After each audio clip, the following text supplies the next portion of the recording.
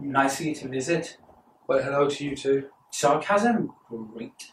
Well, you started it. Why are you here? You haven't visited in weeks and you suddenly decide to turn up again. This is hard for me too, you know. It's hard for you. You fucking locked me up in a place like this.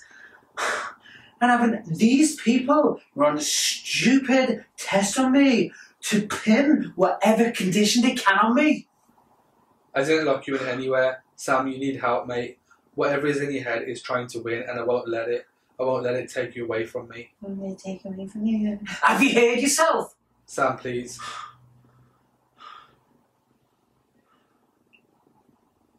You locked your own brother in a dog shit place like this, and you think what's in my head is the problem here? We haven't got long. Fuck you. Don't you dare talk to me like that. Why not? What right do you have to tell me what to do anymore? Because I'm your sibling, you think this is an easy decision. Oh, my heart weeps for you. Say something, please. What's there to say? We may not see eye to eye, but you're still my brother.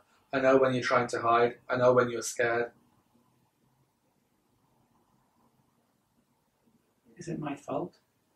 What? What?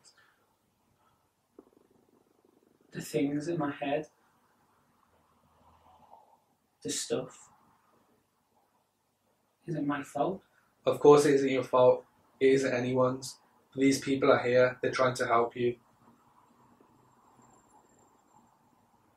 I'm tired. I'm just tired. Hey, look at me. We're doing this together.